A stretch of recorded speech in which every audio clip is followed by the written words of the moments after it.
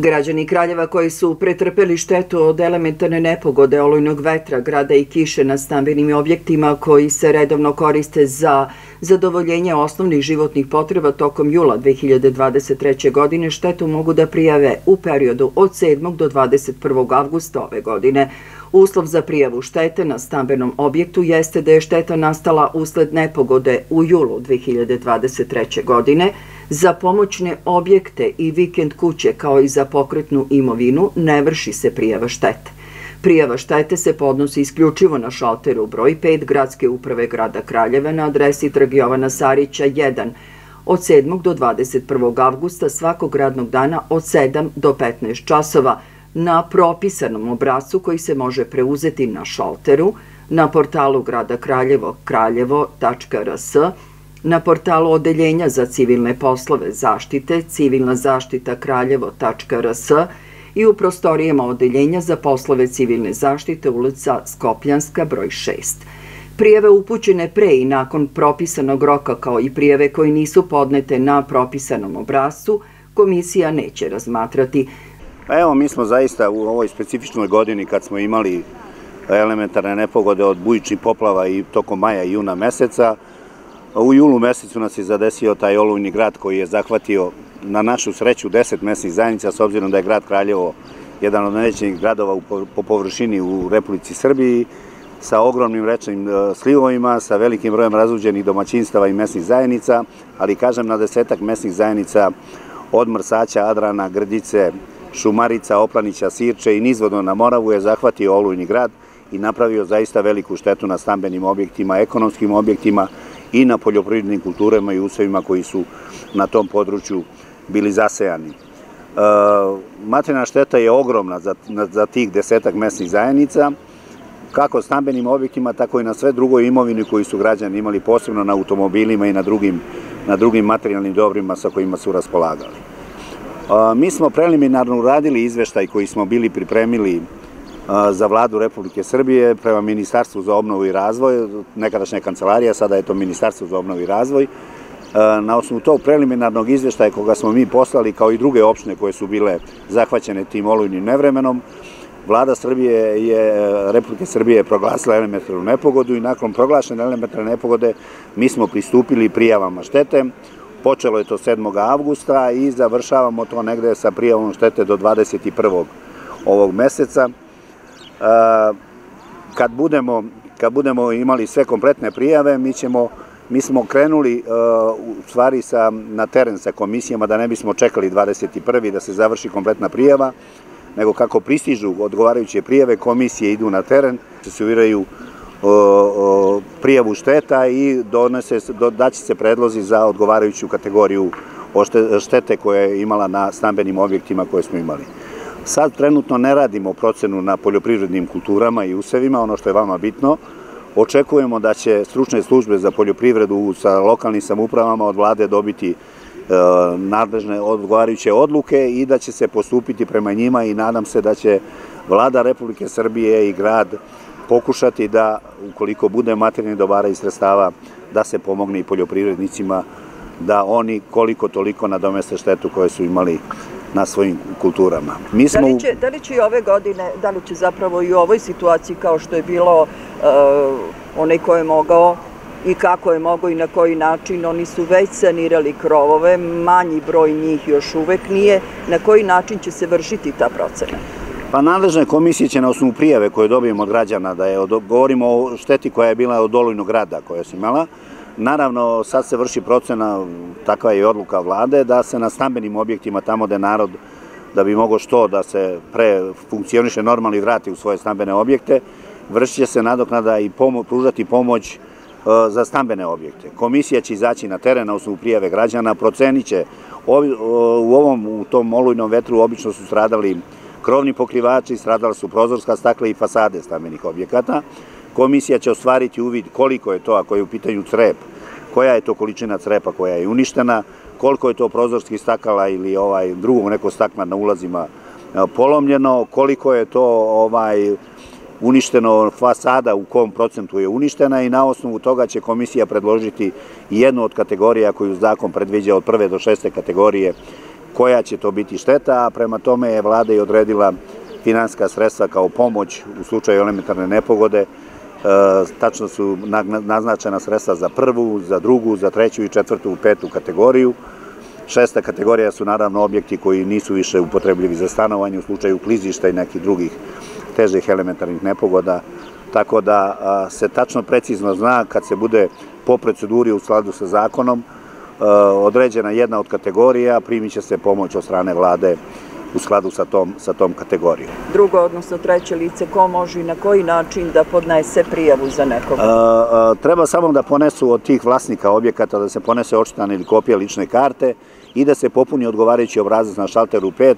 Komisija će ovaj da izađe na teren i ostvarit će uved ako ima bolesti nepokretnih, izaći će na teren, videće o čemu se radi i naravno će da procesuiraju u skladu sa, sa procedurom, maksimalno će uložiti napor da, da snime realnu štetu i da prikažu jednu od kategorija oštećenja, oštećenja pomenutog objekta. Da kažemo, ta pravovremena reakcija protivgradnih, se da, da je protivgradna pucala, da je radila, da li su one kratkog dometa, šta se dešava? Pa evo, ovi danas su komentari tu, da li, da li je taj protivgradni sistem s kojim raspolaže Republika Srbija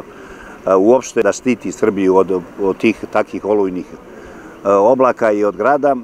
Međutim, ima razni komentara da taj sistem je više prevaziđen, da se to više ne primenjuje u svetu, ovo ono. Međutim, e,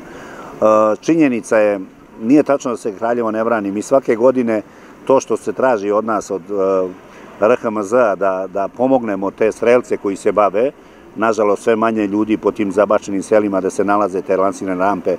sve manje nam je mogućnosti da obezbedimo ko će da bude tamo 24 sata prisutan i da reaguju u pravo vreme, jer nema naroda na tim na tim lokacijama. Znači, Kraljevo isto svake godine odvaja značajna sredstva koja se traže da se pomogne tim i da se nešto finansijski nadomesti tim strelcima kako bi imali protivgradni sistem takav kakav jeste, nažalost, to će struka da u narednom periodu predvidi da li će se primenjivati protivgradna zašta kao što se primenjuje u drugim evropskim zemljama ili ćemo nastaviti sa ovim sistemom kojega sada imamo i da li se može on nešto kvalitetnije popraviti i poboljšati e, njegovo funkcionisanje. E, znači da i grad Kraljevo ima svoje lansine rampe na teritoriji grada Kraljeva, da ima negde, ne znam sad tačno koliko ih ima, oko 50 strelaca koji su zaduženi. Mi izdvajamo sredstva svake godine da to što se od nas traži budžetom se planiraju sredstva da se to finansijski pomognu ti strelci tokom godine i ovoga puta su delovali, međutim, videli ste sami uh, slučaj Slovenije, oni su prošle godine dobili uh, da su najuređenija zemlja u Evropskoj uniji, pa vidite šta im se desilo, kako su oni imali tragediju i kako se njima elementarna nepogoda ovaj,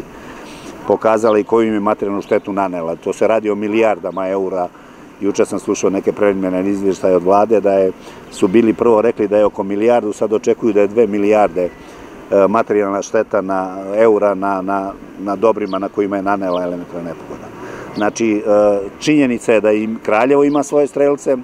da to što se traži od budžeta grada Kraljeva maksimalno se ispoštuje, međutim, e, o tome, taj sistem je jedno vreme pripadao sektoru za varne situacije, bio je prebačen, međutim, ponovo je vraćen u RHMZ, jer je, on ima svoje sisteme, protivgradne centre koji funkcionišu, nažalost, nekada nije to, nekada građani treba da razumeju, mi možemo da pucamo sa lansinim rampama, recimo sa Gledića ili sa neke druge planine, a pitanje je gde će to imati efekta, da li će to da spasi Kruševac ili nizvodno dole još prema Nišu i tako dalje. To je čitav sistem koji narod mora da razume. Mi delujemo u okviru tog sistema u Republici Srbiji. Koliko je on sada efikasan, to će vreme pokazati i naravno da će vlada i neko nadležan u Republici Srbiji u narednom periodu videti šta, šta može u tom pravcu da se, da se učini. Pomenuli smo deset najurgentnijih mesta, svakako e, na prvom mestu je Grdica, higijenski zavod, Mrsać. E, koliko očekujete naših e, građana i da, da prijave štete, red veličina? Koliko pa, otprilike prijava štete će sigurno biti u većem obimu nego O, najverovatnije neće svi biti kategorisani, zato neko ko ima neku malu štetu na, stambenim objektima, mogući da ne bude kategorisan u jednoj od kategorija, a, ali ovaj, očekujemo preko hiljadu i nešto stambenih objekata koji su zaista pretrpeli materijalnu štetu i kojima treba, treba na neki način pomoći da i pružiti im pomoć da to saniraju i vrate u prvobitno stanje. E, da li u ovom optice ovo isključivo za građanstvo, šta će biti sa privrednim subjektima?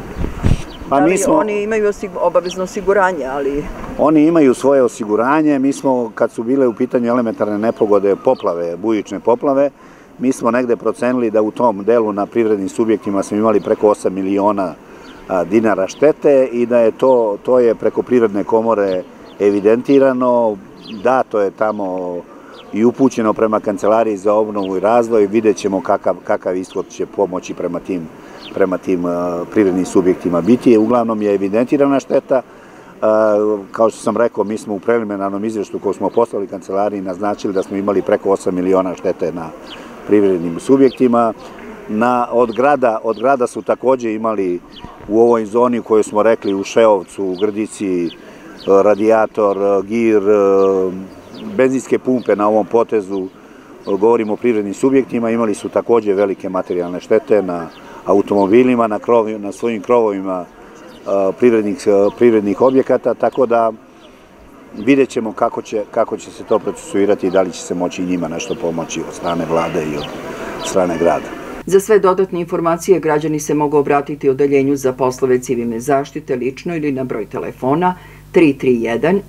199 svakog radnog dana od 7 do 15 časova. Obavezno priložiti prijavu štete je očitana ili fotokopirana lična karta podnosioca ili overena punomoć ukoliko prijavu podnosi punomoćnik koji nije vlasnik objekta ili član porodičnog domaćinstva vlasnika.